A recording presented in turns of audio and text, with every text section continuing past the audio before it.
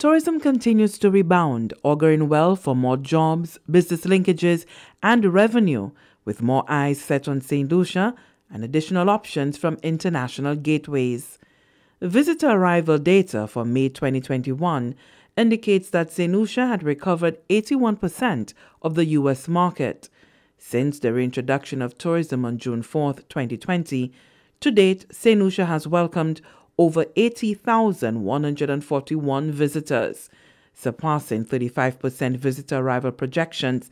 The past month noted peaks in arrivals as the destination had yet another busy weekend that welcomed more than 3,000 visitors. Tourism officials were part of the delegation that welcomed the reintroduction of American Airlines service from New York's JFK International Airport and the data driven service from Dallas Fort Worth DFW. A combined total of 209 arriving passengers, including those fully vaccinated, were met with a full complement of protocols in place. We haven't had an American Airlines flight out of JFK since 2009, and that is quite critical as well.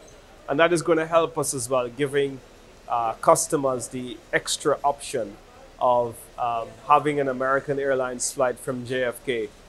That really is going to create a lot of competition on the route for JetBlue. Whenever there is competition, the price is likely to go down. It makes us more competitive. So I think that it's very, very good all around, and we're very excited. And I think really we have to continue to build from here. With DFW being an award winning international airport and with an average of 4.7 million passengers, the St. Lucia Tourism Authority seized the opportunity to captivate a large audience during high dwell times, displaying some of St. Lucia's most compelling digital and static images, as well as branding across the interior and exterior of all four terminals and the jet bridges at Terminals A and C.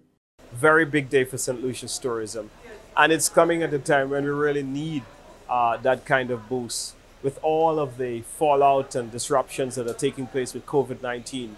It really does show a lot of confidence in St. Lucia and it helps rebuilding our tourism industry that much better. Locally handcrafted plaques depicting the destination's logo and niche markets by St. Lucian artist Christy Gustave were presented to American Airlines in commemoration of its services to the destination.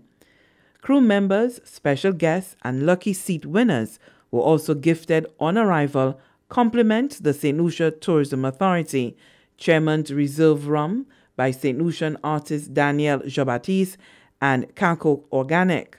Out of Dallas, one lucky passenger was gifted with a three night stay for two compliments Sugar Beach, a Viceroy resort. The weekly non-stop Saturday service will depart St. Lucia for Dallas every Saturday at 2.30 p.m. Eastern Caribbean Time. The New York service departs at 3 p.m. From the Government Information Service, Lisa Joseph reporting.